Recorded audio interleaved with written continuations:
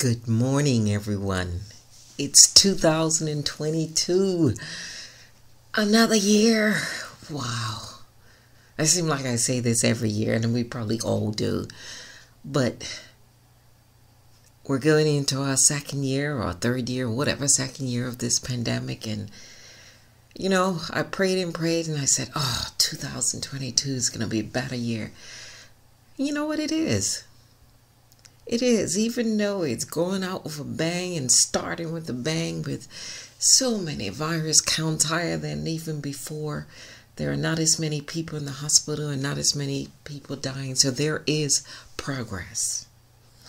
I entitled my candlelight service last week with Unlocking the Mysteries. So, what's next? So, this week it's What's Next? What's next for us? It doesn't seem like this pandemic is going away, and truthfully, it won't. It's it's a virus, but it will get to a point like flu that we will be able to go about our daily lives um, without fear as much as we have in the last two years. I know we're all tired of it and we just wanted to just go away and get to our next new normal. So that's what I'm going to base my talks about this year on unlocking the mysteries of this year. What does God have in store for each and every one of us? And the message will be about survival, some tools for survival, what we can do to help us get through so through all that is going on in our lives because many of us have lost family members either through the pandemic or through other things that have happened in this world and how are we getting through how we're we using the tools that I gave you last week, the 12 last year with the 12 powers and with the um, candle, um, was it candlelight and service, those 12 powers. We're going to talk about those spiritual survival tools to get us through this year. So, what's next? What are we going to do to keep positive, happy, and and willing to keep moving forward in the midst of what's going on in our world. It's a mystery. It's an unknown because our world is constantly changing. However, one thing I do know for sure that God is unchanging. His love is everlasting, no matter the circumstances or whatever is going on. And that is the basis, like we say, the first commandment put God first. That's where we're starting. And that's why I decided with my what's next today, it's about giving thanks. We have to start with giving thanks. We got this far, and we will continue to keep going further, but we have to give thanks. So let's pray. Ah, take a deep breath in and go deeper into that consciousness, into that center of your being, and give thanks to God. Hmm, settle into the silence of the presence of God, your source, your everything. And while we breathe in, we feel the waves of peace flowing through our bodies and our minds as we become still and know the truth of who we are as children of God. We feel peaceful and thankful and grateful. And in that and in this energy, we send healing prayers out into our world continual healing prayers. With The collective energy of all of us, we heal our world from sickness, from violence, from destructions, from sadness. And through our healing light, we lift up our friends, our families, our co workers. We lift up the doctors and nurses who are exhausted and carekeepers givers throughout this pandemic. We know by our prayers and sending out our healing light, we heal our world. And we say, Thank you, God, for that power and for that strength to move from suffering and sadness to joy, love, and peace.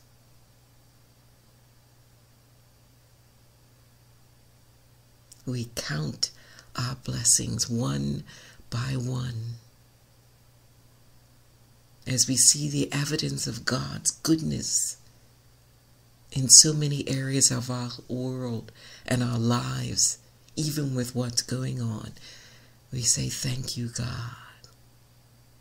He bless those in the midst of heavy um, storms and winds along the East Coast. The fighting in um, Afghanistan, I, I'm probably saying it wrong. Bless them there in Russia and, and all the areas of the world in need of prayer. Bless Bermuda and the families who've lost the young man during our Christmas holiday. Bless our island with so many people with COVID, just as in the rest of the world. As we heal and move forward, we give thanks for this day because we know tomorrow will bring new blessings and new occasions to give thanks. So we breathe in oh, the power and the might and the glory of God within us.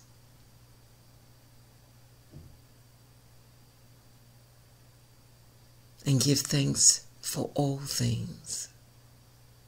And there is no limit to our thanks.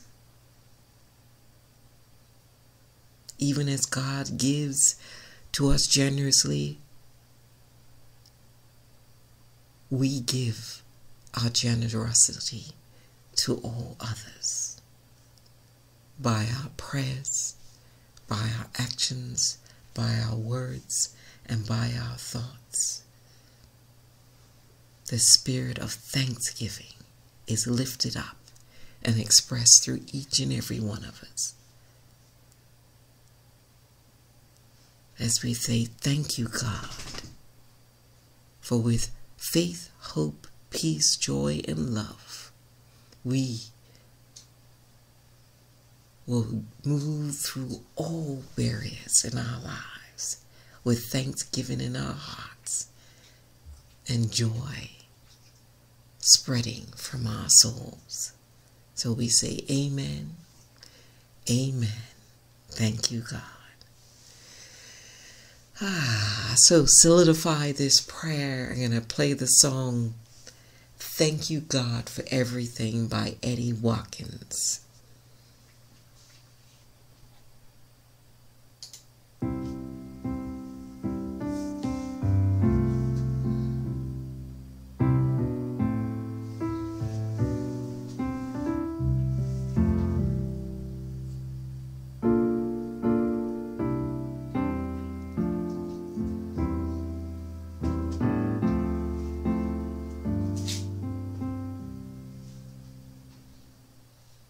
Thank you, God, for everything.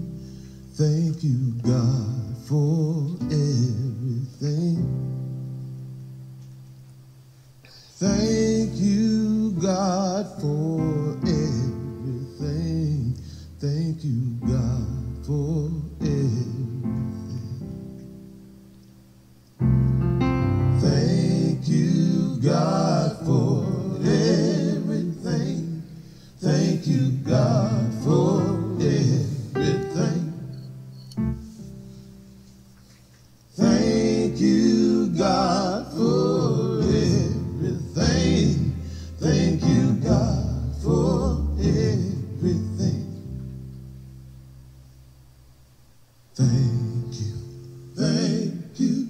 thank you, thank you, thank you,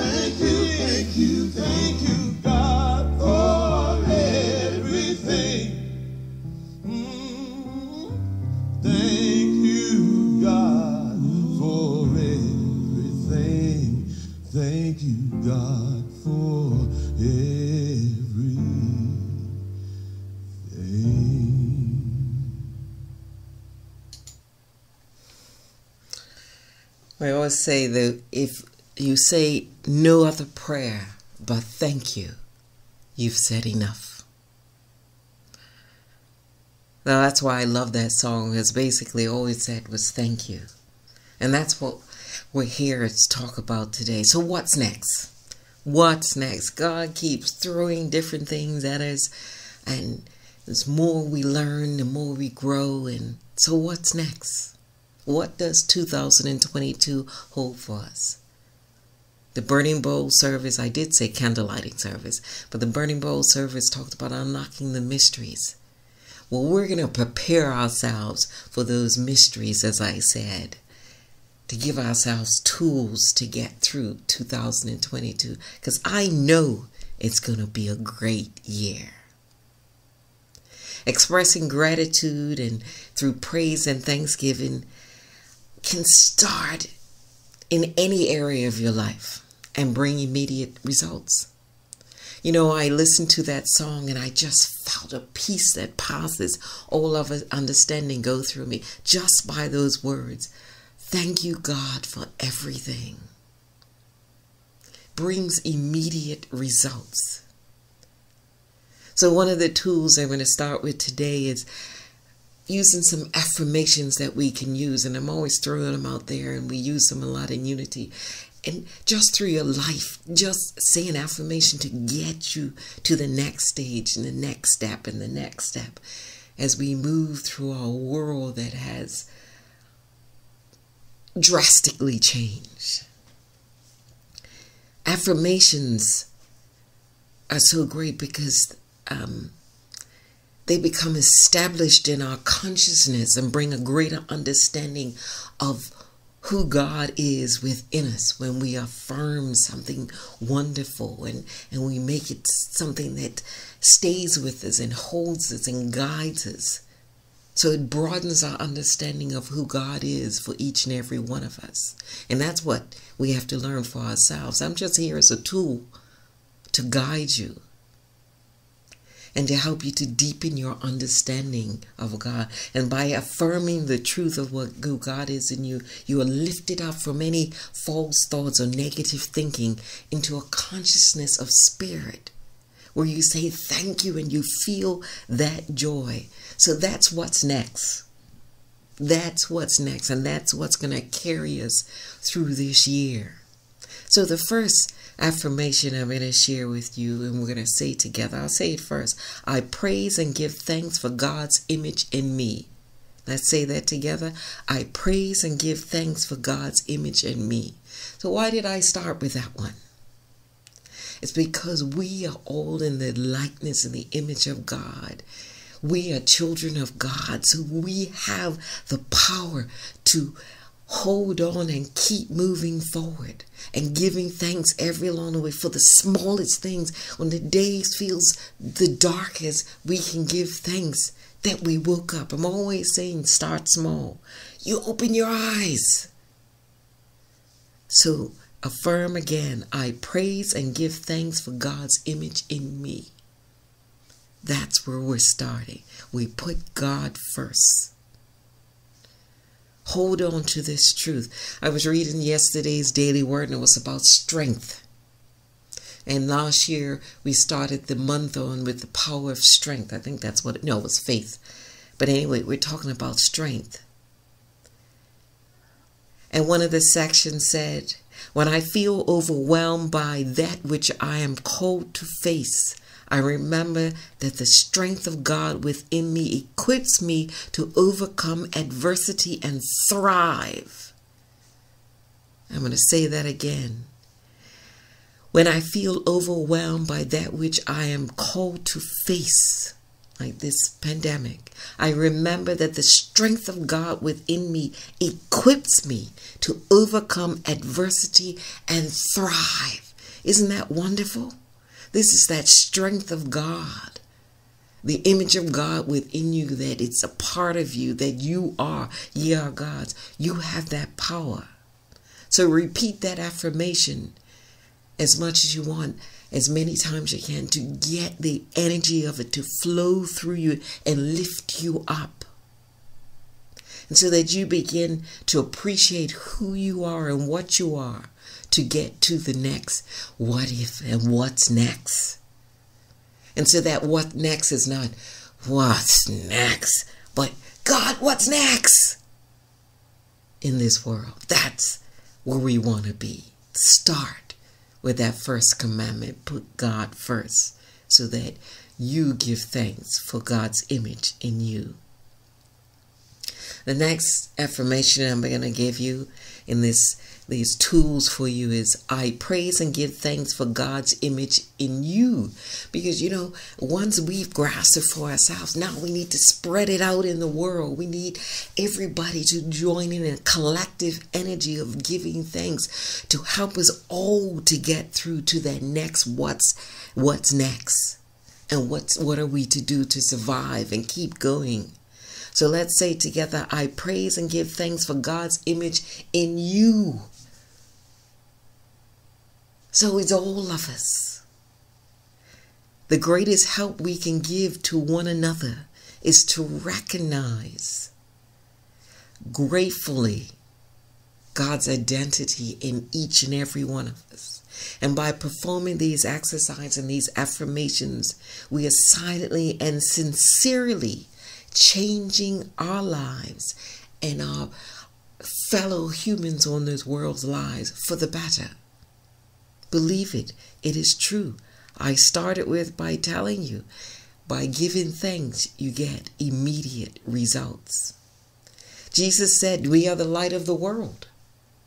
So, by grasping onto that truth of um, giving thanks for the image of God in yourself and in other people, you are spreading the light of God. Where Jesus says, We are the light of the world. So, the next affirmation we're going to say, I praise and give thanks for the light of the world that I am and for my expanding ability to let this light shine. I'm going to say it again. I praise and give thanks for the light of the world that I am and for my expanding ability to let this light shine. Isn't that wonderful?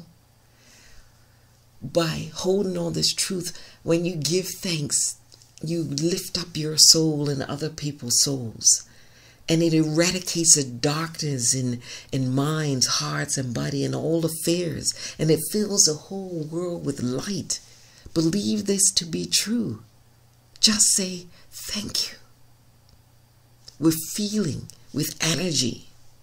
The Apostle Paul told us that after we discover our true identity, who we are in God, we stop letting ourselves be pushed around by the world of appearances, by all those outer circumstances, by all the things we hear in the news, by this pandemic and all the negative things. We stop getting pushed around by those things because we know who we are in God. And we become a life giving spirit. We are lifted up into the light because we know who we are.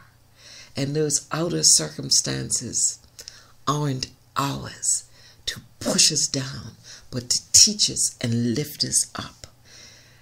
As dark as it may seem out there, we have the inner strength to move through this. So we're going to affirm I praise and give thanks for the power to stimulate my mind, heart, body, work, relationships with other people, and my world with refreshing life current I distribute. I know this one is a bit long. If I can remember, I'll put it in the email when I send it out. But I'm going to say it again.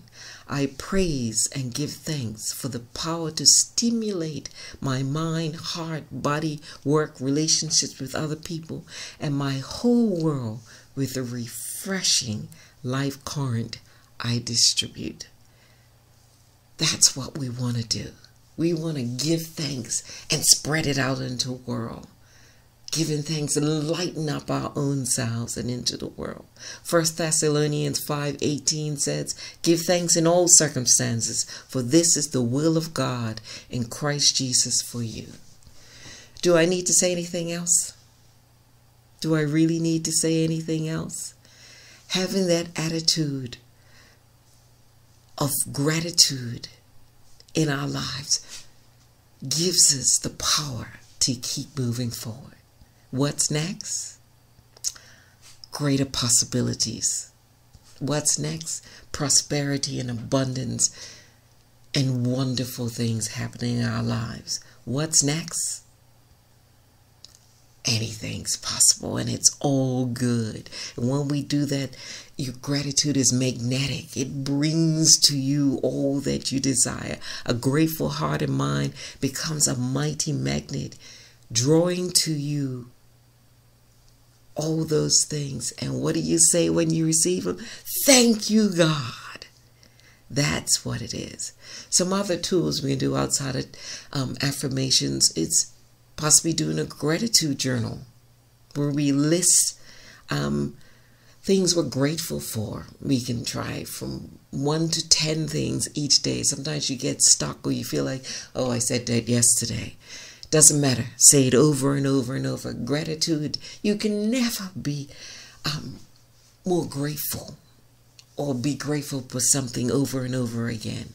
Being grateful for being alive. You can say that every moment, and it's wonderful. That's one of the tools you can do. Or, as we say all the time, regular prayer is another practice.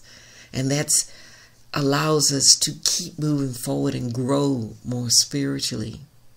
And it rises or raises our gratitude quotum when we um, pray and develop this attitude or this attitude of gratitude.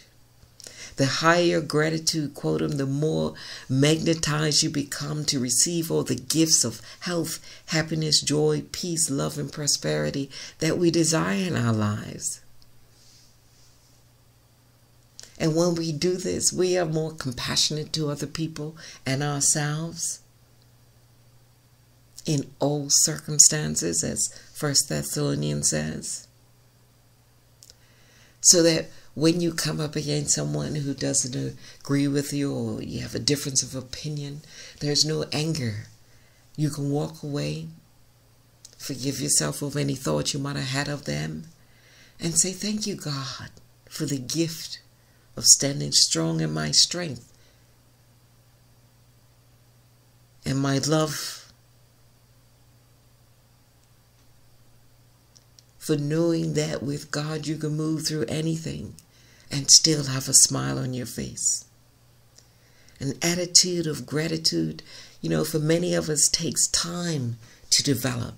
So practice every day. Use some of these tools affirmations, prayers, journaling, walking, whatever. Mine is walking. Anybody knows me, I'm a walker. And I've said it many times. Soon as I start walking, I start praying. And sometimes I have to snap out of it, know where I am because I'm in the midst of for prayer. I see birds, I see feel the breeze blowing. All those things bring me to that place of gratitude. And I give thanks and a smile comes to my face because I saw a red bird or I saw a crane or anything that I saw or a new flower growing. I give thanks. So as I'm doing that, I'm developing a stronger attitude of gratitude so that I can smile more and be thankful more and pray. Another way, and I always think it's fun to think about gratitude and giving thanks, is when we get a meal. And there are still many people out there struggling to get food in, in snowy weather and bad weather out there. Um, services have a hard time getting to people and helping others. And I always remember um, saying grace. And I must admit, I don't always remember to say grace when I'm sitting at my table, but I'm always thankful for what I receive. And I'm always saying prayers anyway. So I always say I've already blessed it. But I know I want to get back to starting to remember to say my grace before I eat my food every time. But anyway, I digress. Remember when you um, your mom, when you were growing up, told you better eat all those food because kids in Africa don't have all of this or somewhere else doesn't have it. And you're looking at their food and going, yuck. With my grandmother, it was, you better eat that food. And one of the worst things she made was cuckoo. I'm not even going to try to explain what that is. It was nasty. Let's put it that way. But we still had to say our grace and say thank you, God, for our food. And she would tell us to eat it all um, and be thankful. And I'm sitting there going, I know I got to be thankful for this nasty food. But you know, you are, I was thankful because we didn't have it every day and I always had food to eat. I had lunch and I had breakfast so I wasn't starving. So if I didn't eat that dinner, I knew how to hide it and get rid of it quickly. I was I was good at it too. I could say thank you for all the meals that I have received, past, present, and future. So I thank you, God, for convincing me to say my grace and give thanks for all the food. And it did nourish my body. And now I've probably eaten too much over the holiday and need to get rid of some of it. But I say thank you and I give thanks. And one of the ways in which especially as children and even as adults, because I know my husband loves a dessert, we get to look forward to dessert or that's something sweet after we've eaten our meal. And sometimes we have to eat stuff we don't really want to eat just to get to the good stuff. And on for us on Sundays, Grandpa always brought home pies, and it was either lemon pie or apple pie, my two favorites. And so the best part about Sundays, I always liked Sunday meals, so I ate all my food to get my um, pie, whatever one we had. And through the week, if I didn't eat it, it was okay. I still got my pie on the Sundays. So we get rewarded. And just like that pie, God rewards us when we give thanks for even the simplest or smallest thing. And that's just a simple way of understanding how giving thanks in every part of our life helps us to bring good in our lives. So continue to say prayers or statements of gratitude. Give thanks for even the smallest things in your life. For gratitude, allow gratitude to fill your mind and your heart. Praying with gratitude expands your consciousness towards greater blessings. Remember, God is love, and we live in that love. For to receive all that God's love, we give thanks. We give thanks. So, what's next? Gratitude, giving thanks. Start with that in 2022 and every day wake up giving thanks, and we'll know what's next. Good, no matter the other circumstances. For all that's out there will pass. I don't know when it ends, it's all in divine order. But just remember to pray, give thanks, express heartfelt gratitude all the time. And you will receive the best of the best. So take a deep breath in, and I thank you for listening to me as we go into our meditation. I'm going to read the daily word for today. So take a deep breath in and out in and out.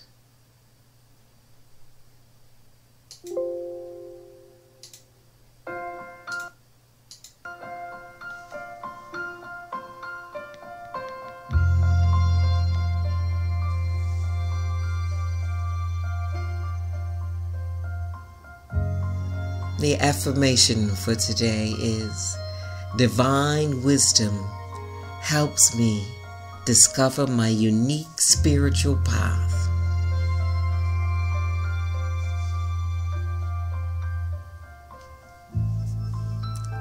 Tending to my spiritual life keeps me attentive to the whispers of my heart and in tune with my guidance. I am grateful for those moments, I can rely upon my spiritual intuition to discern my path forward. but sometimes my guidance feels far away and hard for me to access on my own. At those times, I may seek the assistance of my trusted friends and advisors. I may seek the wise counsel of my minister or a spiritual counselor who encourages me to discover the wisdom found in the depths of my own consciousness. She, he, or they pray with me, listen with empathy, and share my joy as my innate wisdom leads me along my unique spiritual path. I am grateful for those who walk the path alongside me. John 14 28 says, But the advocate, the Holy Spirit, whom the Father will send in my name, will teach you everything and remind you of all that I have said to you. So take a deep breath in and out. In and out. So as we open our eyes and come back to this place in time, we affirm in giving thanks for every evidence of God's goodness, I find more and more for which to be thankful. I'll say that again. In giving thanks for every evidence of God's goodness, I find more and more for which to be thankful. So we close in prayer. Let the light of God surround you, the love of God enfold you, the power of God protect you, the presence of God watch over you. For wherever you are, God is, and you are richly blessed. Amen. Amen. So I look forward to sharing with you again next week as we talk about I will survive. So namaste until next time.